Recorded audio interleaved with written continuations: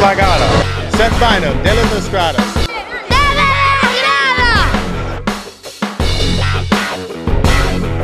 Y así cerraba el torneo clausura del año 2012. En el primer lugar el Deportivo Lara con 42 puntos. En el segundo lugar Guayana con 33. Anzuategui en el tercer lugar con 32. El Caracas Fútbol Club en el cuarto lugar con 28 puntos. Por su parte Zulia Fútbol Club en el quinto lugar con 27. En el sexto lugar Llaneros con 26 puntos. En el séptimo lugar El Zamora con 25.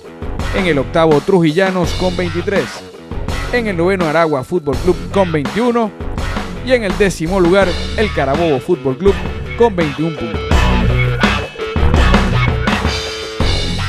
Amigos fanáticos, nosotros continuamos con más desde las gradas y en esta oportunidad les tenemos la entrevista de la semana. En esta oportunidad es el técnico del Zulia Fútbol Club, el profesor Alex García King. Profesor, bienvenido a nuestro programa, bienvenido nuevamente al Zulia Fútbol Club, a este, a este nuevo torneo de apertura en el año 2012. ¿Cómo están las proyecciones este año con el equipo del Zulia?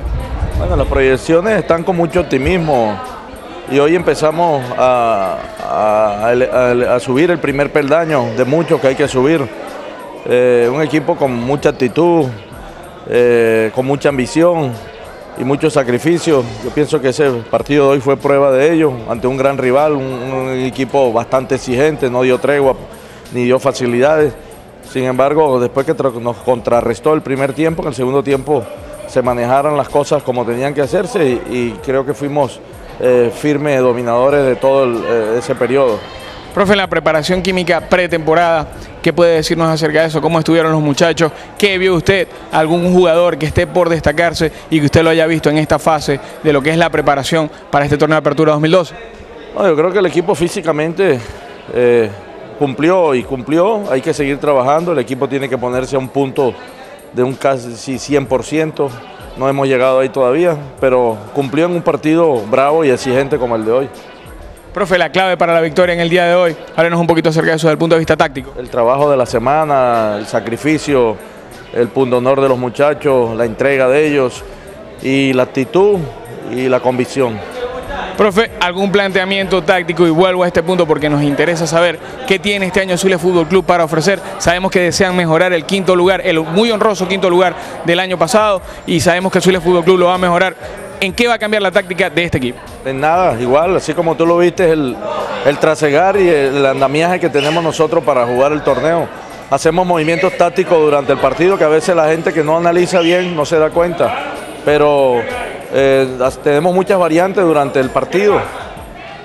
Profe, un mensaje para todos los fanáticos del fútbol en el estado Zulia y en Venezuela, para que sigan este importantísimo deporte, para que le brinden el apoyo necesario, para que siga creciendo y, y cada día tener un fútbol de, mayor calidad en nuestro país. Bueno, que nos sigan apoyando a nosotros, en especial las barras, la fanaticada, los, los hinchas, pero muy sanamente y sin violencia. Bueno, muchas gracias, profesor. Le reitero las felicitaciones y nosotros continuamos con más desde las gradas.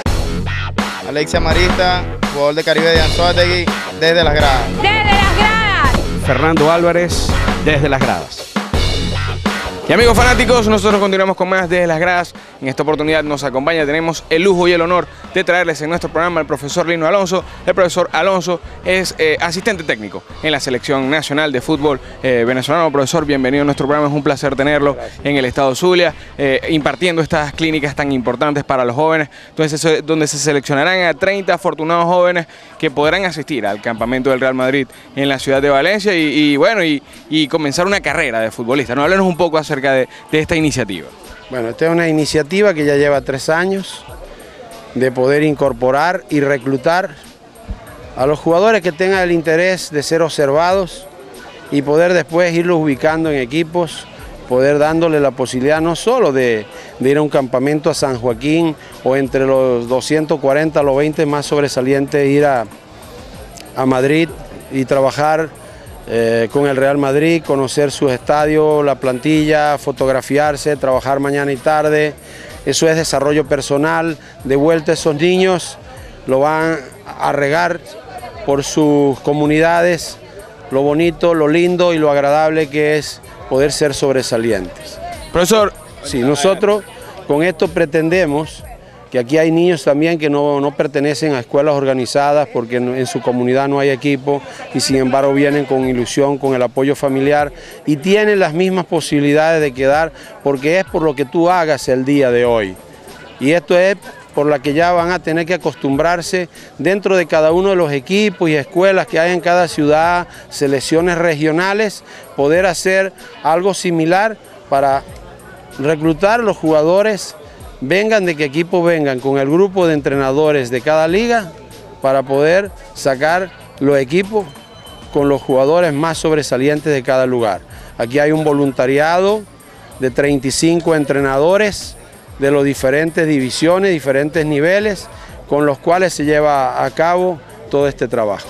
Profesor, hace unos años no veíamos esta actividad futbolística en el país, no habían tantos niños preparándose para jugar este importante deporte y es gracias a personas como usted. ¿Cuántos años tiene ya usted dentro de la preparación futbolística en nuestro país? Y, bueno, el impulso de lo que es la selección vino tinto, ¿no? Háblenos un poco acerca de qué se siente ver el fruto ya, ya crecido, ya, ya, el, ya el, el árbol dando, dando sus frutos, profesor. El fútbol va creciendo, va creciendo, se va contagiando. Nosotros tenemos actualmente todo eso en referencia a la selección absoluta. Las mediciones son, si tenemos nuestra selección en el momento, en el top histórico, ¿verdad? Aunque para otros países llevan mucha ventaja con referencia al nuestro, eso ha contagiado un entusiasmo y la incorporación de la gente tanto en la grada, tanto a dedicarse a especialidades que pueden ser de entrenador, médico deportivo, administrador, nutricionista, psicólogo. Por supuesto, el grupo mayoritario es el de los que se van a incorporar a jugar y a dirigir. Entrenadores, los diferentes tipos de entrenador, de arquero, físico, en fin, especialista en defensa, director técnico y cada día con ese alto reconocimiento que hoy tiene el fútbol posesionado, lógicamente que la niñez, las nuevas generaciones van a recibir este tipo de apoyo para mucha más a temprana edad ser incorporados al alto nivel de competencia y a exigencias diarias de entrenamiento, no a entrenamientos eventuales, dos tardes de vez en cuando, un partido hoy sí, mañana no, sino campeonatos regularizados semanalmente, poder practicar al fútbol todas las tardes. Eso es lo que conlleva dentro de esta masificación a que aparezcan y sobresalgan muy, en forma muy clara los grandes jugadores. Bueno, muchas gracias profesor, ha sido un placer para nosotros tenerlo en nuestro programa. Envío un mensaje a todos los fanáticos del Estado Zulia que lo están viendo en este momento a través de la pantalla desde las gradas y que quieren jugar fútbol, que, que, que están a los, a los, pequeñitos, pues que desean hacer su sueño realidad de algún día formar parte de la selección Vinatinto. Y respóndanme también, ¿va a Venezuela al Mundial? Mundial 2014 Brasil, allá estaremos. Eh, para toda la comunidad del Estado Zulia, padres, familias que tengan niños y niñas, porque el fútbol es para niños sí, señor, y niñas. Hoy, el que donde viva se acerque al espacio deportivo destinado al fútbol o fútbol reducido, a buscar un espacio, un cupo y se integre en forma organizada al fútbol. El fútbol es una escuela de vida, es una escuela de valores, es un lugar para el desarrollo sano y físico y se pueden aprender cosas que ya no hay en otros lugares. El compañerismo, la honestidad, la lucha organizada, todo eso nos la va a dar el fútbol. Entonces, acérquense al fútbol, cuanto más adentro se metan en el fútbol, mucho más fuerza vamos a tener todos los que estemos involucrados. Bueno, muchas gracias profesor, ha sido un placer tenerlo en nuestro programa y nosotros continuamos con más desde las gradas. Amigos fanáticos, nosotros vamos a hacer nuestra segunda pausa comercial, pero ya regresamos con más desde las gradas.